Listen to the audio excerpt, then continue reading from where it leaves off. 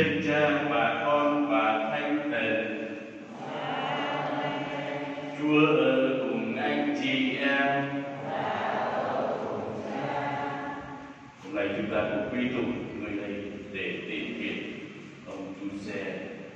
dương văn chiến 73 tuổi tuổi giáo hội đêm cuộc sống của chúng ta chính là một hành trình đi về đại cha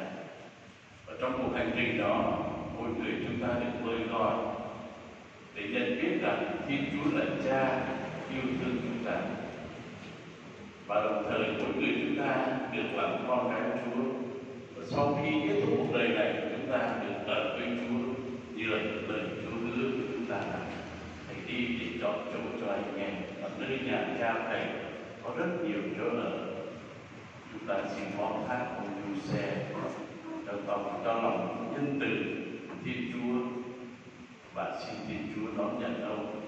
qua đi lễ thập giá mà Chúa đã cứu chuộc muôn loài. Xin Chúa cũng thanh tẩy ông để ông được hưởng hạnh phúc bình an cho những ai đã tin vào Chúa, an tin vào ta sẽ được sự sống đời đời. Trong tất cả thông tin đó chúng ta chú ý với gia đình chúng ta để cầu nguyện cho linh hồn Chúa sẽ.